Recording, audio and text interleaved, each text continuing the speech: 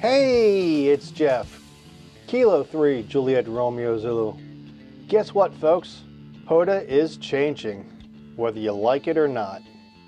POTA switching country designations used for the park's prefix to the ISO 3166 standard. And you might ask yourself, what is the ISO 3166 standard? And that's a good question. The ISO 3166 is a standard published by the International Organization for Standardization, abbreviation is ISO. It defines the codes for the names of countries, dependent territories, special areas of geographical interest, and their principal subdivisions, that is, states and provinces. It was first published in 1974. It's updated every few years as needed. But what's included in the ISO 3166 standard?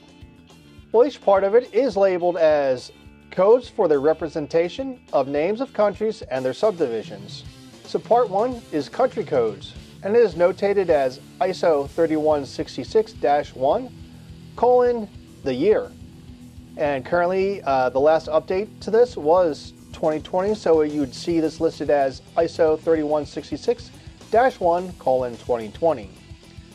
Part two is the country subdivision codes and that's notated as ISO 3166-2 colon the year. And that's what Parks on the Air is actually switching to. And part three is codes for formerly used names of countries. That is countries that no longer exist or have changed their names. And that's notated as ISO 3166-3 colon the year. And these country codes can be represented either as a two-letter code, which is Alpha 2, which is what Parks on the Air will be using. Will be a two-letter prefix to all park entities in the system. And this is recommended as a general purpose code. Many organizations use the two-letter code. Next is a three-letter code, which is Alpha 3, and it's more related to the country name. And if you look at a list of this online, you'd be able to see what I was talking about. I'm not going to share that information here since Parks on the Air is not going to be using that. And also the other way is a three-digit numeric code, which is numeric 3. And this is useful if you need to avoid using Latin script. So here's some example of country codes uh, listed as ISO 3166-1.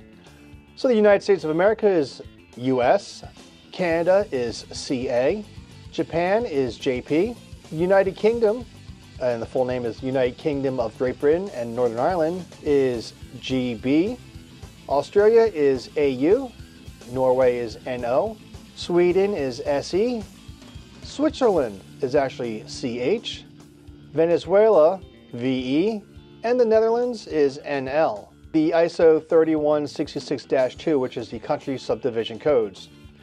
So using two examples of the United States and Canada, as we just mentioned, the United States of America ISO 3166-1 code is just US, but the dash 2 code is the country code and its subdivisions. So Delaware would be US-DE, Pennsylvania is US-PA, Virginia is US-VA, Arizona US-AZ, and Idaho US-ID. Canada is the same thing. Their country code is CA. And for Manitoba, it'd be CA-MB. For Ontario, it'd be CA-ON. Quebec would be CA-QC. Nova Scotia, CA-NS. And Alberta, CA-AB. And some examples of uh, ISO 3166-3, codes of formerly used names of countries. So the USSR, Soviet Union, was SU. The German Democratic Republic, which was East Germany, was DD. Yugoslavia was YU. Czechoslovakia was CS. And Burma was BU. Uh, if you don't know, Burma changed its name to Myanmar, so that's why it's a former code. But why is POTA changing? Why this change? As stated on the Parks on the Air documentation website that they were not following any standards consistently throughout the program. POTA has been growing since its inception, So there comes up with conflicts with existing country codes. Countries were using the prefix of their call signs, which conflict with existing standard country codes from the ISO 3166 system. For example, Canada, the park started with VE dash the number, but Venezuela's country code is VE. So when parks from Venezuela come in, there's going to be a conflict. Instead of using the prefix of call signs, Parks on the Air has made the smart choice of using a internationally recognized standard. And like I said, it's a good thing. It's following a recognized standard throughout the world. It minimizes conflicts with new countries that are added into the Parks on the Air program. And the conflicts with existing countries will be resolved and everything will be standardized. So the US, all the parks start with K, will now turn to US. Puerto Rico, which was K, will be switching to PR. Canada was VE, is switching to CA.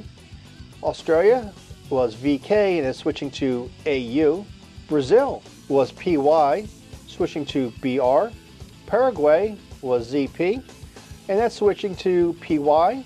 Belgium was ON and switching to BE, and New Zealand was ZL. That's switching to NZ. As I mentioned earlier, you can see the, the conflict with Canada and Venezuela. And you can see with Brazil and Paraguay, there's a conflict with the, the prefix of call signs and the country code. So this will resolve those conflicts. So where can you see all these changes that are happening? Well, the only place really is to go to the Parks on the Air website at pota.app P-O-T-A.app. And you click on the hamburger menu, which is called a trigram, the top left of the site. Go down to Rules and Documents, you click on that, and then click on Changes. You'll be able to see more details, you'll be able to see the past changes and the upcoming changes. And I will place a link in the description below to this website. And uh, to those people that don't want the change or don't like change, you're gonna have to suck it up, Buttercup. You'll have to retrain your brain. And it'll take some time to, to remember all this stuff. For example, when I go out of state, I still want to say that I'm in Delaware when I'm uh, making QSOs. And over time, it'll become second nature, just like it did the first time. And you'll also want need to listen, listen, and listen some more. Uh, it will take time, definitely, but other activators will probably have the same issue. They'll still reference their parks with a K or say kilo, uh, this will happen all over the world uh, to the countries that are having the changes done to their POTA entities. It will all have to deal with it in one way or another. So you're going to have to embrace this change because there's no going back. But like all things, nothing's perfect when it first comes out, and the changes that are done, hopefully, are always for the best. So I believe this is a good thing for the Parks on the Air program. I can't wait for all this to happen. And by the way, if you're in the US, March 20th, the US and Puerto Rico are changing. So get ready to say US dash your park number. Thank you all for watching. Be safe, have a good day, good night, and 7 3.